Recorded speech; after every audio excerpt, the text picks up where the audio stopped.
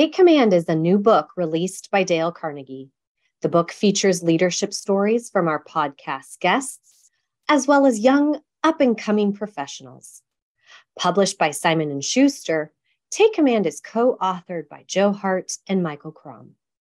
Visit takecommand.com for more details and to buy the book. Now to our latest episode.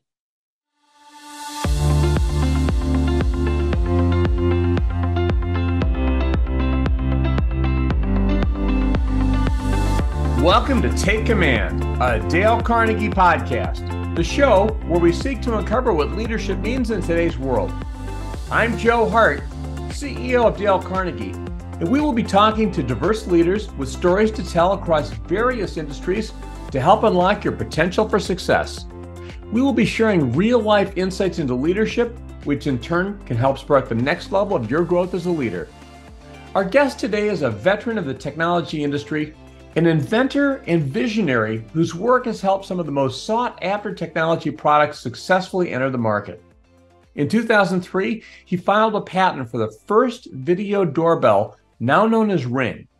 He is once again revolutionizing the industry with his latest first generation technology that addresses security in the fast growing e commerce sector using mobile applications for improved security, access, and logistics. Due to his tremendous technological contributions, he became a member of the Forbes Technology Council, an invitation only organization of high level technology leaders with deep knowledge and diverse experience in the industry. Please welcome the founder and CEO of One Ahead, Ron Carter. Ron, great to have you here. Welcome to the Dale Carnegie Take Command podcast. Oh, thank you for having me, Joe. It's great to see you. I've really been looking forward to talking with you because you are an inventor extraordinaire. I know that you have multiple patents, including the patent on, I believe, the ring doorbell. You've got some really great things, and there's so much involved in taking an idea and commercializing it, making reality. Definitely want to talk about that. Take us a little bit back, Ron. Tell us a little bit about you, about how you got started, about your background. I mean, were you inventing as a child, or where did this love of inventing come from? Well, Joe, I've always had a curiosity about things and would explore things and learned at an early age that I had a pretty high IQ, but I never really understood what that meant.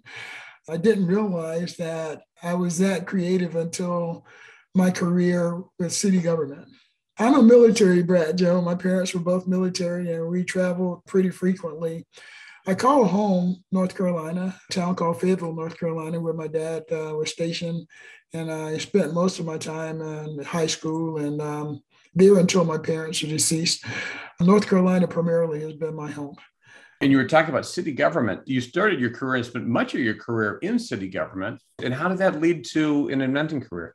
Well, that's a great question, Joe. I uh, worked in community development in three different cities, starting out in Fayetteville and then going to Greensboro. And Winston-Salem recruited me from Greensboro.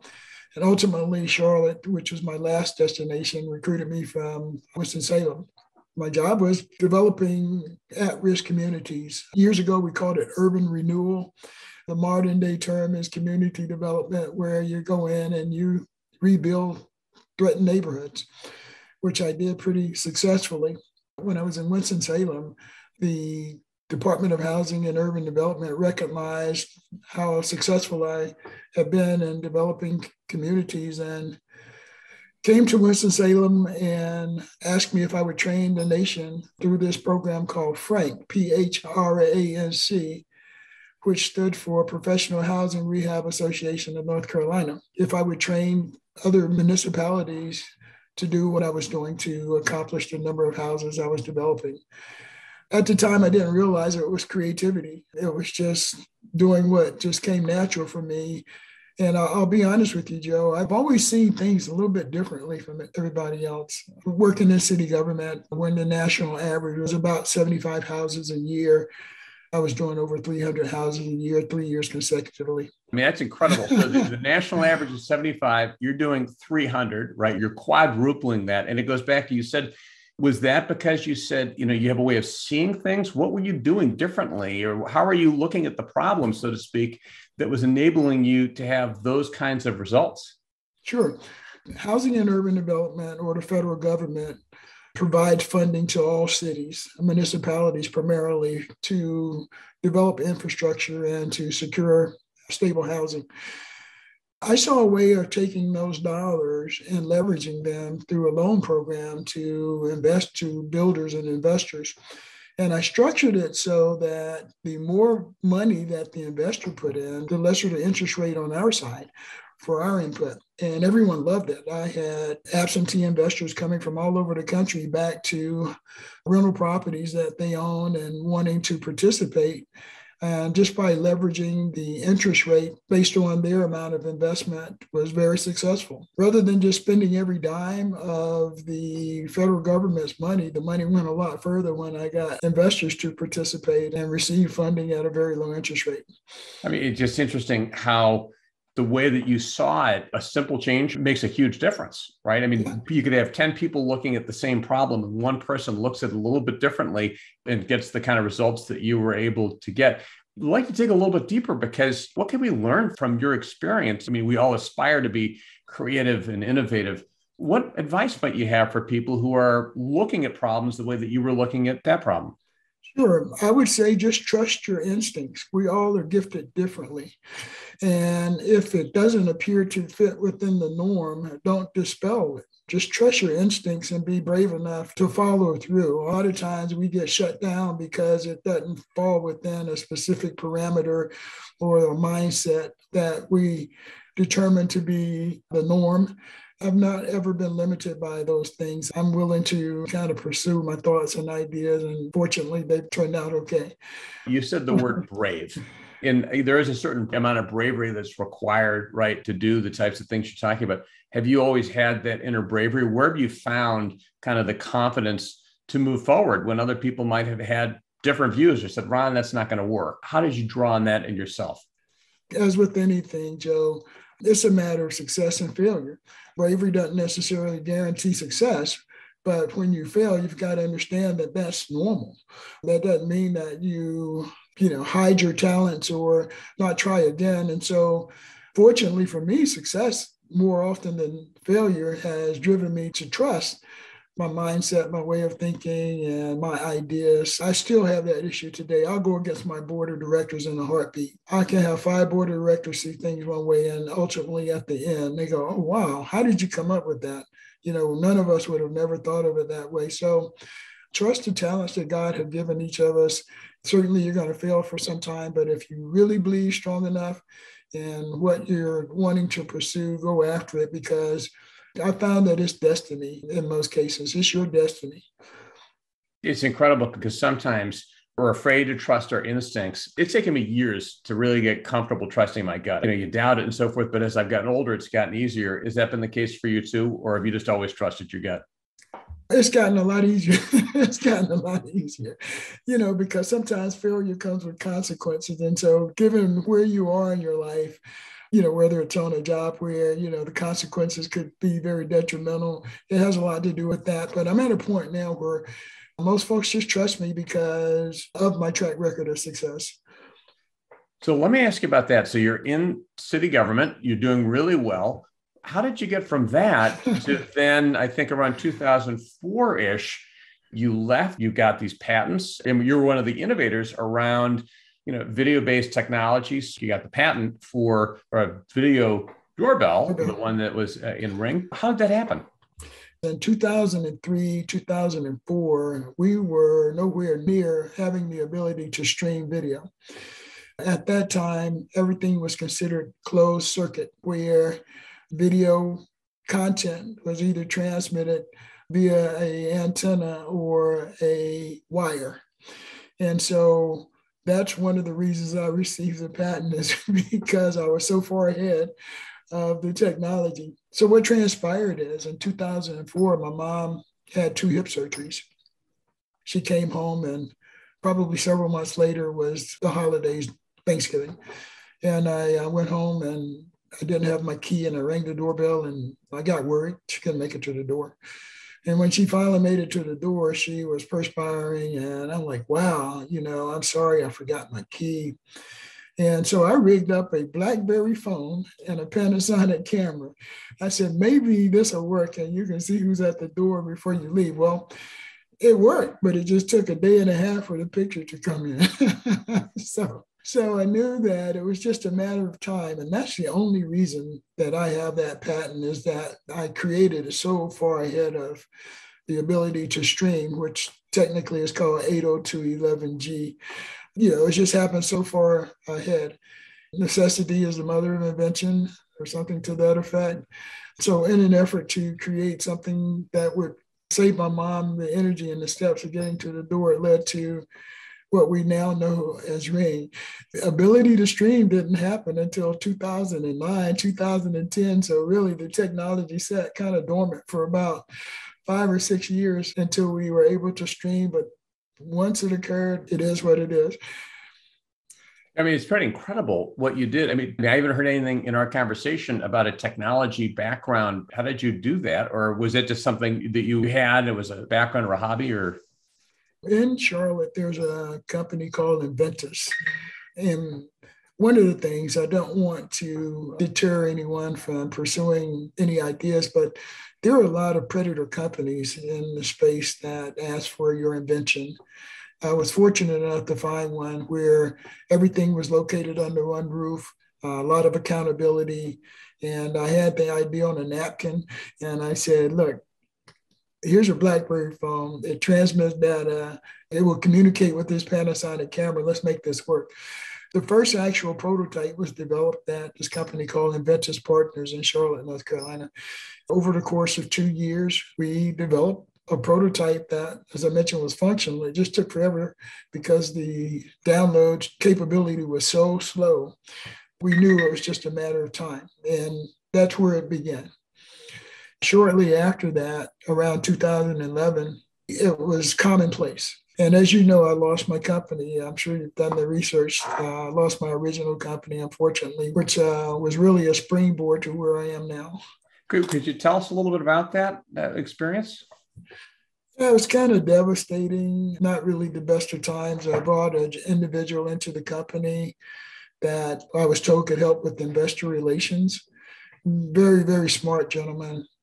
However, over a period of a couple of years, through some transactions that he suggested, such as buying a finance company, which we purchased, and uh, some other things that he had going on behind the scenes, he took control of the company. I didn't find out until um, 2016 when the SEC came in and indicted this guy. And we found out that the finance company that we purchased, he owned, never disclosed it. And so we purchased it for a tremendous number of shares. And with what he'd already had legitimately, that purchase put him in a controlling position. And so he took over the company in 2017.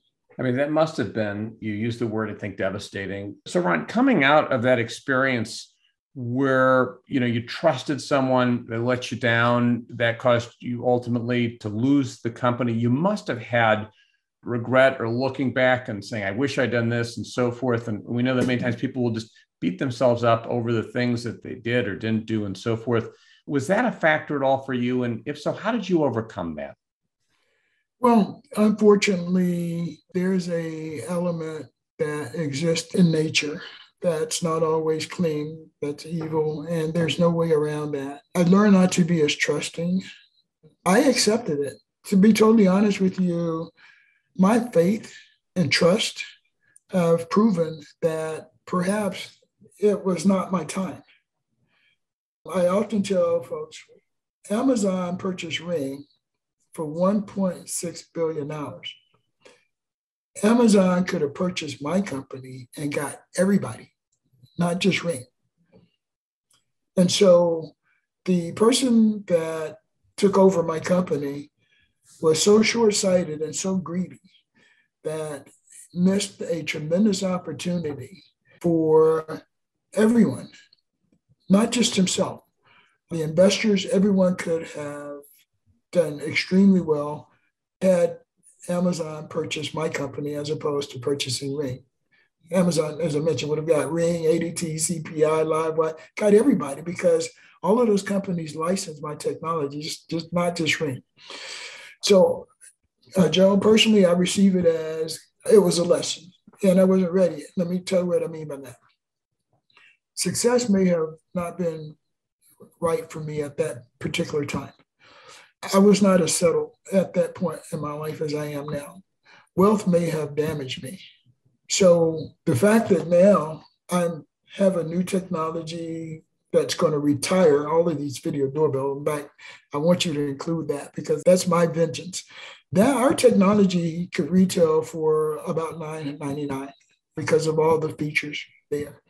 We're intentionally bringing it online between 369 and 399 for the sole purpose of retiring all of the video doorbells to take control of that whole sector. That brings me so much pleasure to be able to do that. I think I'm in a better state of mind and time in my life where success will not ruin me. It would actually go to support many things. I have my health, I have everything. I'm pleased with where God has me now. I see it as a blessing. So, as perspective, to answer your question, regret is a matter of perspective. Things are going to happen. It's how you respond to those things that happen, how you receive it. And I received it as, in my case, you know, evil will exist. I got taken. I will rebound, and I have rebounded. That's phenomenally insightful. And thank you for sharing that. It's powerful because you know we all have things in our lives that we face that are challenging sometimes we have major setbacks sometimes we blame ourselves we get ourselves in a very very bad place and when we have the right perspective as you talked about which is partly acceptance it was your faith it was the belief it was the mindset that said, you know what, I believe something better is going to come out of this. Sounds like that really helped you get through that tough time. And I'm super excited for you for the future. Thank you, Joe. This technology has so many verticals. It's just so exciting to watch it materialize. Our focus has been on residential. I'm finding out there's a commercial application, government applications that are being pursued. It's just pretty amazing thank you for sharing that and for being vulnerable with that story because I think a lot of people would look at you and the success that you've had, or they look at successful people and they see it as linear, like they don't see the setbacks. But we all have setbacks, and you certainly that must have been a major setback. So how did you overcome that? You were crushed. You'd started this company; it was your baby, your intellectual property. How did you move forward? my faith, number one. I had responsibilities that I had to make sure I continued to meet, such as my household responsibility. So immediately after that, it happened in November of 2017, just happened to be around the holidays, and UPS was hiring. So the first job that I could find was on a UPS truck during the holidays, delivering Christmas packages and so forth. Little did I know at the time that that was the beginning of where we are today with this new technology. I discovered that e-commerce was an exploding, it was literally a economic turbine. People were shopping online in 2017 like crazy. And we began to hear about porch pirating. And I'm like, wow. So when I did the research, I learned that that's a $5 trillion industry as compared to an $80 billion industry, which is the security industry, that e commerce was literally an opportunity to provide security over and above what we consider personal and physical security. And so, after two years of working with UPS, this is the part where I really want to share the spiritual. I'm a cancer survivor, by the way. And that's important that I share that. And I want to share that during that period of my life when I was afraid of dying with cancer, I um, would lay in the bed and pray at night. And um, this one particular night at three o'clock in the morning, I heard this voice that said, You don't know me. And it scared me. It was like nothing I'd heard before. And my wife's the minister. So I shook her and I said, Did you hear that? Somebody's in here. She said, No, you're just dreaming. I said, No, you sure you didn't hear that? I said, I just heard you don't know me. I think God said you don't know me. And she said, well, just lay down and go back to sleep and be glad he didn't say he don't know you, you know. so Joe, I laid back down and that's when God began to tell me, he says, you know, so many people think they have a relationship with me and they have a relationship with church. They don't know me at all. And he said, You're one of those people. So, anyway, a couple of days later, I had this dream of this new technology with AI, and I knew God was telling me to do it again.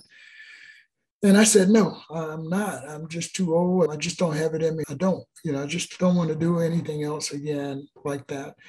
It was like they laid out every feature of this new technology, the AI component.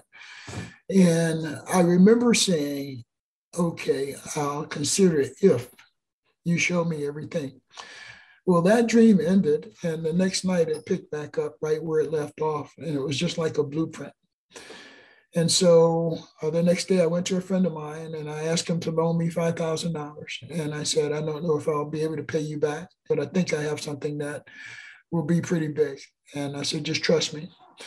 And he loaned me the $5,000 and I went to a patent examiner and we filed the patent and um, we filed in November of 2018. And then in January of 2020, the patent office called me and said, we just got notice of allowance. And I said, for what? They said, for your patent. And I said, no, it's not even been 14, 15 months. I said, how could it be?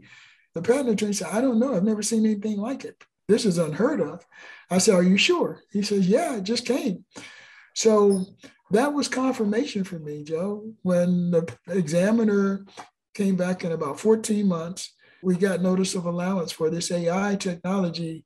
And it was like, oh, happy day for me. I just shouted and danced because at that point, I understood the value of having artificial intelligence at an entry point. It's an incredible story. If we go back and you look at it, sometimes you can see kind of the breadcrumbs or the way that dots connect. You go back and you had this devastating experience, and then you work at UPS, you see something, you have an insight, and then you have this experience with your dream and with God where all of a sudden everything's laid out and you get your patent. I'm a lawyer by background. I know a little bit about patents. I know that that is incredibly fast to be able to get a patent. But the way everything came together, and now you have this technology, it was really fun kind of learning about the technology. I know you're getting ready to, take it to market now. This isn't just a ring doorbell. This is something that can interact with the person who comes to the door. It can ask, you know, how I can I help you? And actually interact with the person as I understand it. And if it's a delivery person, they can scan the package. You can unlock a lockbox so they can put it securely in your property. And I think you've actually got a feature here too. Correct me if I'm wrong, but you've got the ability for a drone to chase away a thief or something. Am I understanding all this correctly? no, you're absolutely right. Let me add just then I'll go right into that. Anytime you approach an opportunity, if your focus is on, you know, how much money you can make, how successful financially you can be, you're off to a bad start your focus and my focus has always been primarily on the success. Or whatever happens after that, so be it. But my focus has already always been on how can I make this happen, not on how much money can I make. So we've never had security, Joe, ever. What we've had is a system of bells and whistles and alarms that started out with this group called Central Station Alarm. That something was triggered, a breach of your privacy or whatever was triggered, it set off an alarm, which originally went directly to the police department. And they would dispatch a car to come to that site, that location. And that became such a burden on municipalities because of the number of false alarms that they began to create monitoring stations that would then confirm the event and send it to the police. Well, that whole scenario is pretty ridiculous because criminals know they have so much time to get in and out of your home to do what they need to do and, and be gone. That's essentially what we've had for years this system of bells and whistles. The ring, for instance, was not designed for security. I didn't create that. I created that for convenience. So you could see it, was at the door and decide whether or not to open it. Back in 2003, we didn't have mail order delivery like we have it now. But the industry has convinced the consumer with the transition of the need for security that that video doorbell can provide a security application and it can. Literally, all it can do is let you describe who walk away with your package. It doesn't mitigate a threat at all. And so we have technology that can, for a first time in history, literally mitigate a threat. And that's what we have patented. In fact, you know, I'm really proud of our IP portfolio. Our IP portfolio now is ahead of companies that have been around for 10, 15 years because our focus is more relevant and relative to the time we were in. We started out with the focus on e commerce. That was it. How do we support e commerce? A $6 trillion industry that's losing almost $15 million in packages a day. How do we support this industry? And once we accomplished that, Joe, we were satisfied. There's a patent out there owned by a major company that claims everything. I mean, the kitchen sink and you name it. And the patent office rejects just about anything coming through now because of this massive patent. Until we were able to convince the examiner that we have a security solution that's networkable. It's not isolated to a controller like in your home, you have a command station or control that you put a code in, and no one knows that code but you. All security everywhere is based on something similar, maybe even you know at a bigger magnitude, but still there's some central station, there's some central point where that device manages security access and, and so forth. Well, our solution is networkable, which means that we can share security access with anyone that has the application. In the next five or 10 years, we won't have metal keys anymore because our solution with a reader and images is more secure than a key ring full of metal keys. Once we convinced the examiner that this solution was a networkable solution as opposed to one that was tied to a central station or a central controller, the examiner got excited and he began to like, wow, I get it, I get it, I get it. So we just decided one day, let's see if we can add robots and drones to this thing, see if he approves it. And sure enough, he approved it. That's when everything changed because it took what we had as a security device, and now it's a whole home security platform where we can not only support packages and deliveries, but we can actually provide personal and home security in a way that has never been done before. That was pretty exciting. It's pretty cool. I want to get back and talk to you about leadership, but if someone wants to buy one of these, how do they do that? Is it available yet? Is it pre order? You know, we were going to launch through Kickstarter, but I wasn't comfortable because of the complexity of the technology. I discovered it's going to take just probably a year to maybe 14 months to develop. As of right now, we're looking for opportunities to, to manufacture as quickly as possible, ideally within a year. So it's probably still about a year out. You've got a website though, right? Is there a yeah. website that people can check at? Sure. I'm excited about the product website, which is glow, G-L-O dash AI.com. And then the company's website is the number one ahead technologies.com. That's one A H E A D technologies.com. Okay. Well, sounds good. Well, people will know where to look. I'm intrigued by this. sounds really, really innovative. Let's go back to this idea of creativity and innovation because you know one of the things we teach in Dale Carnegie is around an innovation process. But you may have creative people. You could have a great idea. If you don't have the right process, if you don't have the right interpersonal skills, you can't ultimately take that idea and make that real. What are some things that you've learned along the way of inventing these kinds of products around interacting with other people? How have you gotten people excited about your ideas? How have you interacted with people? How have you dealt with people who said, that's a bad idea, but you've kept going anyway? Each of us have that creative capability. I have an amazing team, and it's the energy that originates from the creator that really sells the idea, the concept. It's never been difficult for me to get people excited about an idea once I've kind of locked in on it. I'm interested in how we can make this a success. Are you willing to participate and help make this a success? That's been my approach. Because after losing my first company and the investors that were involved, we all lost.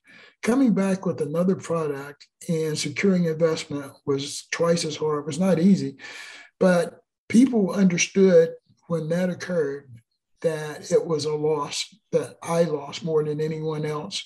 And support came from a position of not that we lost our money, but we know what happened to you, and we're still willing to back you again because we believe in you. And that was so inspiring to me that the same people who had lost on the first go round came back and said, Ron, because of who you are, and we know what happened, we have your back and we're ready to stand behind you with investments. That was amazing because when I said no, when the idea came to me in the middle of the night, and I said no, I was thinking about how I let down so many people who'd invested the first time. And that must have been just so gratifying. I mean, to have those people believe in you the way that they did. How would you define leadership, Ron? what does leadership mean to you if you were to define it in a sentence or two? Recognizing the ability of others before yourself. I've never accomplished anything independently. Even when I worked in city government, I looked for the best in everyone and made them feel that their contribution had value. And their contribution was a contribution to a team effort and not so much me dictating this is how things should go or it was collaborative. And when you have people who are committed to a solution, it's much stronger than anything any leader can offer. In fact, the leader should only be a director. Everyone on my team, they realize their value. Most leaders don't know it all. They can't know it all. To pretend or to present yourself as someone that, you know, knows it all, do it this way, and there's no other way to do it I think sets himself up for failure. So I've always had the approach of a team approach. It's foolish for one of us, any one of us, to think with arrogance that we have all the answers. I've learned, especially over the years, just how important it is to listen to the people. I can't think of a time that if I've had an idea that you start talking to people that they haven't either made it a better idea or it wasn't a great idea, but it's a myth of leadership. Sometimes, especially young leaders think that, well, I have to know everything. And if I don't know something, it makes me look bad. But we don't have all the answers, right? That's right. I often say I'm the dimmest bulb at the table. And that creates a sense of ownership and everyone else around the table to help me be brighter. And it works. It works not just from a strategic standpoint, it's an effective measure of leadership to trust and engage those around you for the support that they can provide you. Oh, it's great advice, Ron. Well, thank you so much. Great discussion. Any closing pieces of wisdom for our audience? Just trust your instincts, be true to yourself. Certainly, integrity means so, so, so much because without that, you won't get anywhere and don't focus on how wealthy or how rich you can become. Focus on how successful you can become. That would be my advice. Awesome. Well, again, thank you, Ron, so much for being with me today. Thank you for having me. It's been wonderful, Joe. Thanks. In today's Thought Leadership Spotlight segment, our guest reveals how to talk to your team and understand the individual. He emphasizes the importance of leveraging the strengths of each team member to promote both individual and team growth, ultimately leading to success. Like Ron Carter, our guest reminds us to be brave and to follow through with a positive mindset. Please welcome the president and CEO of Dale Carnegie Central and Eastern North Carolina, Neville DeLucia. It's a Saturday morning, it's early.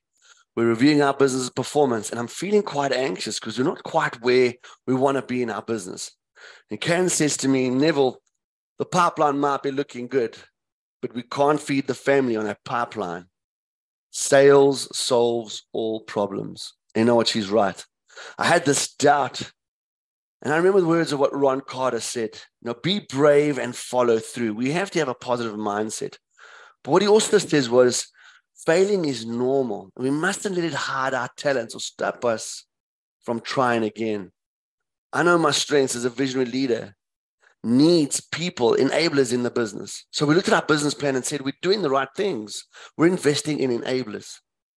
We also realized that we have strengths that our team members don't have, and they have strengths that I don't have. How can we leverage the strength of one another to grow?